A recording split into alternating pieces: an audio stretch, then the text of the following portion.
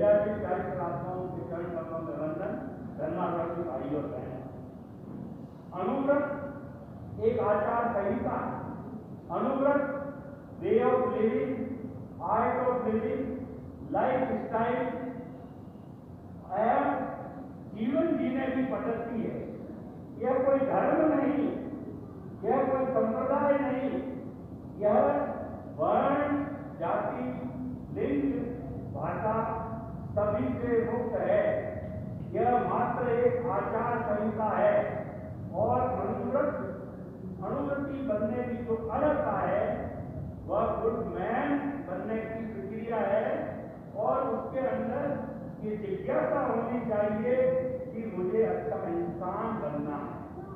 आज़ाद कुछ ने देखा कि 1947 में आज़ादी तो मिली लेकिन ये आज़ादी कितने बलिदानों के बाद मिली है 200 वर्ष के कड़े संघर्ष के बाद मिली है ये आज़ादी बरकरार कैसे रहे चिरस्थायी कैसे रहे तो उन्होंने भगवान महावीर के आधार धर्म अनुव्रत को युगानुकूल बनाया, क्योंकि वो युग दृष्टा से, युग दृष्टा थे युग की नव को जानते थे, और उन्होंने मौलिकता को रखते हुए ग्यारह नियम ऐसे बनाए जो कि हर मनुष्य मात्र को लागू होता है।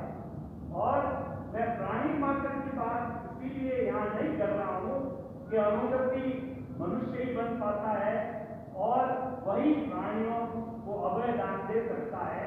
अतः इस अनुव्रत की चेतना को हम आगे बढ़ाना। अनुव्रत का बड़ा छोटा सा जो परिभाषा है अनुव्रत व्रत छोटे नियम कि वो अनुबंध से बड़ी अर्हता रखते हैं। क्यों?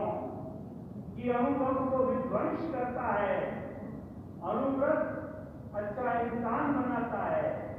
जब अच्छे इंसान बन जाते हैं तो पूरी विश्व पूरी मानव जाति अच्छी बनती है और मानव जाति से अच्छे बनने से स्वर्ग धरती पर उतर आता है।